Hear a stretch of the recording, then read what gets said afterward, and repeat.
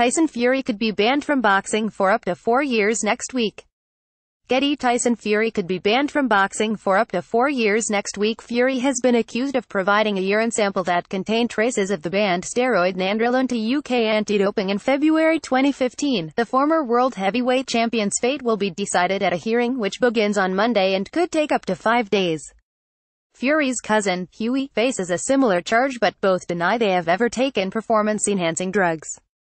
Fury is also charged with failing to provide a sample when drug testers arrived at his home last year. Who are the top 10 pound 4 pound fighters in the world? Getty 10. Guillermo Rigondeaux 1711 Coes The 29-year-old could face a ban of up to four years if found guilty, while UKAD fear they will need a government bailout if he is cleared and seeks damages from them for lost earnings. Fury has not fought since he beat Vladimir Klitschko in November 2015 to claim the WBA, IBF and WBO heavyweight titles.